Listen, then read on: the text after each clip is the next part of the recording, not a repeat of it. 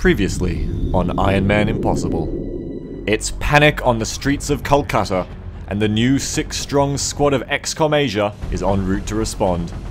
The stakes are high. Losing a terror mission means the immediate loss of that country, and the odds are grim. With no advanced weapons or armor, things couldn't be tougher for Earth's finest. But defending the world isn't a choice, it's our duty. And it's under these circumstances that our squad touches down in India for their most dangerous mission yet.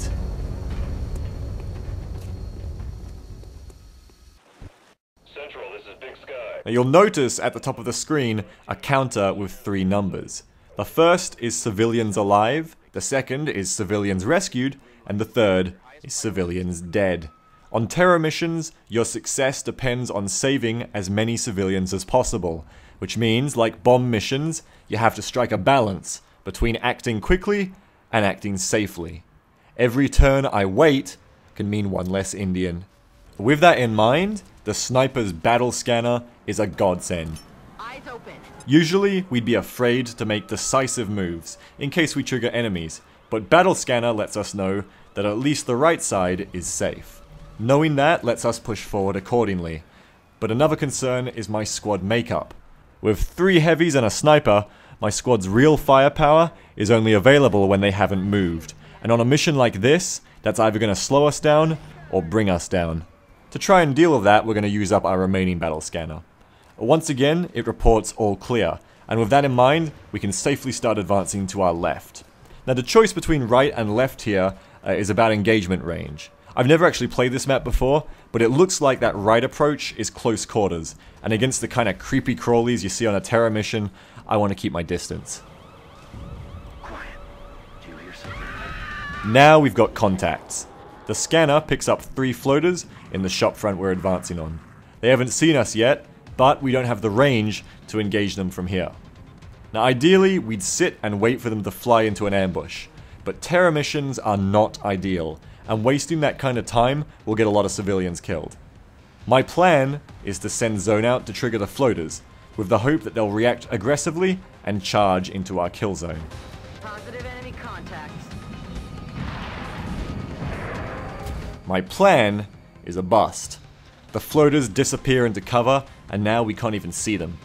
Once again, this is a poor situation to be in, and once again, it doesn't matter. We have to close with and destroy the enemy before they kill any more civilians. Soylent and Chromium join Zone Out at the only cover going, while Spriggan, Oakley, and Wilson provide cover in depth.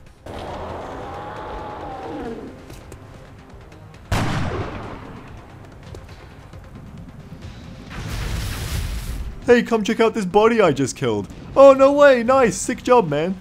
So another sieve bites the dust, but at least we've got a shot now. Uh, an Oakley shot. Damn it, missed the target. With the great Snipe Hope shooting the breeze, it's time to put up someone reliable. And on the left, while Chromium tries to be like her heavy idol, Soylent is a tough act to follow. Now with two enemies left, you'd be forgiven for thinking that things were starting to look up. But this is where things take a turn for the worse.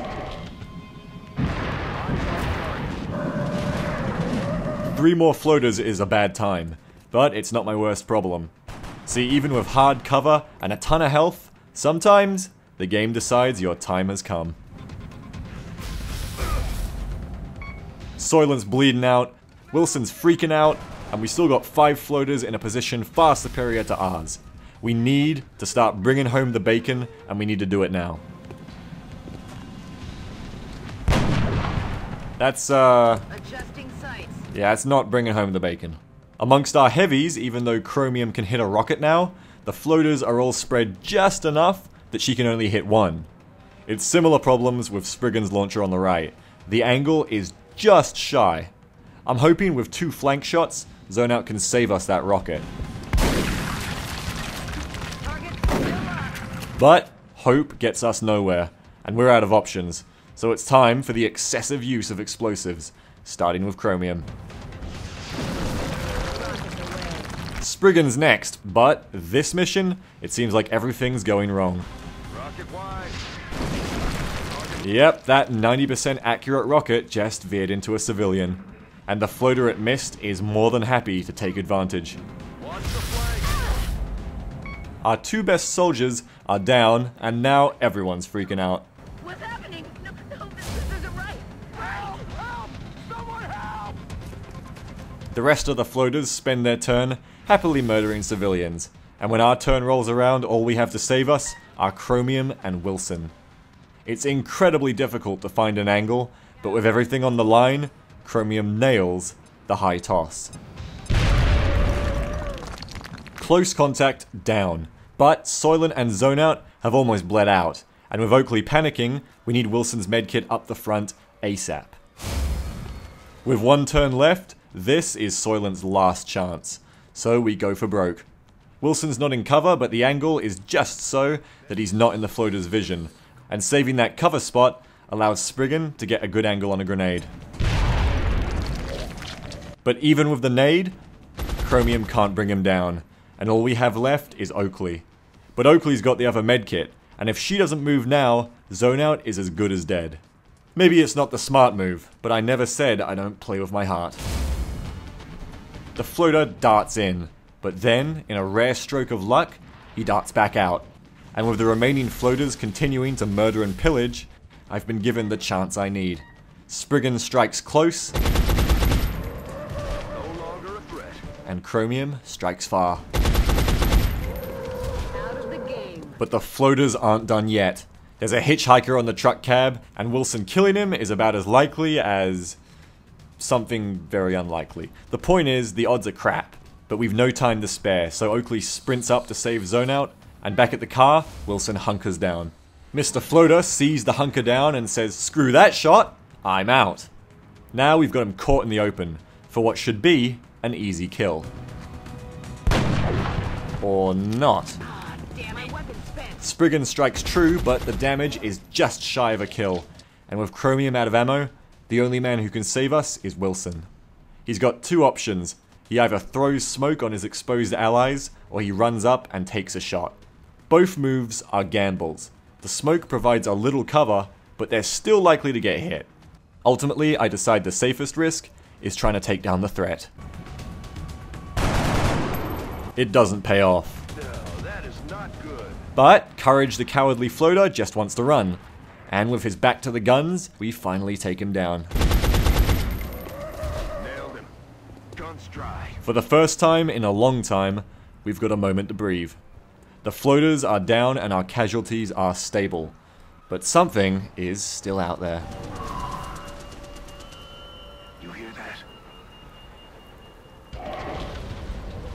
Negates any hope we had of. This nightmarish creature is the Chrysalid, and it's built tough.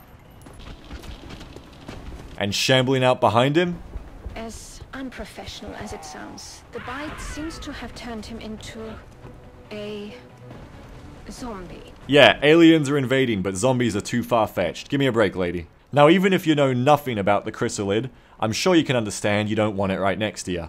But in this situation, I think Spriggan's got him right where he wants him. Hostiles pacified. But even with the chrysalid down, the threat still remains in the zombies. The chrysalid's most horrifying ability is that those it infects will become new chrysalids in a few turns. So we've got no time to waste in taking these zombies down. I'm about to start keeping score. Yeah, congrats, Oakley, you can hit a zombie. Let's start a scoreboard. Well, the zombies aren't impressed. And neither is this guy. Hey, how you going? Good, that's what I needed. I needed I needed you to show up. It's- got a lot of health, and the squad has fairly low damage, except for one person. Everything we've done, every mission, the lives of every soldier and every person on Earth depend on Oakley hitting a 74% shot. She was never good under pressure.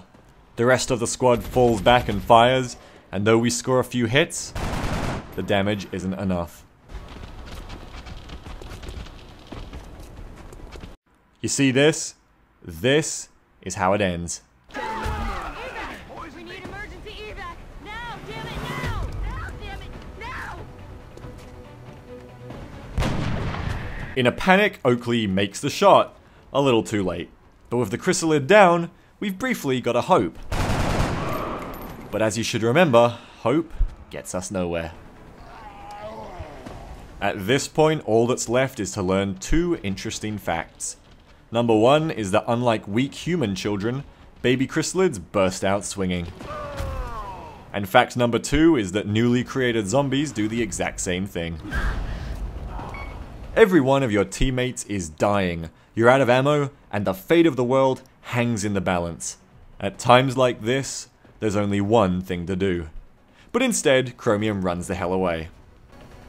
Come in, Central. This is Big Sky. We're aborting. Repeat, mission aborted. So Operation Final Gift was right. With the failure of this mission, world panic slips into global chaos. She made it home in body, but after the things Chromium's seen, you can hardly call it living. With every good soldier dead, the world in disarray and no weapons or armor to show for it, there's no question about it. This is the end of the road. In the last three days of the month, I was actually given one more mission, but instead of dragging things out, I'll just give you the highlights. Crap, crap. Oh, that's a bad name. Crap. Oh, crap. Oh, crap. Ugh. Oh, come on! Oh, craptastic. Oh, you gotta be crapping me. Jesus crap, just hit him! Come on, come on! Oh, mother. So, with the month's end, it's time. For the call from your boss you never want to get. This entire undertaking was the product of an ill-conceived plan. We believe the best course of action now is to cooperate with the aliens for the betterment of all mankind. The path ahead is clear.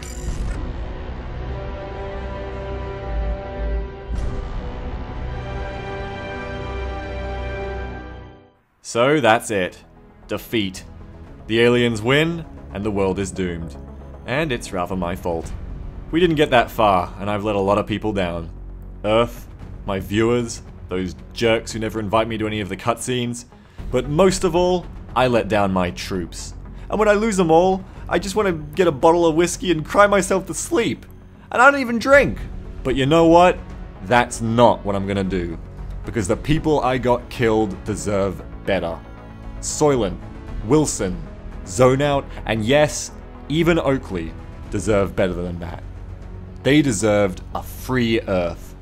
And that's why I'm gonna take my experience, my mistakes, my lessons learned, and jump right back in to Ironman Impossible. And if you'll join me, I could sure use the company. Until then, from the abandoned offices of XCOM Asia, this has been Commander Beagle.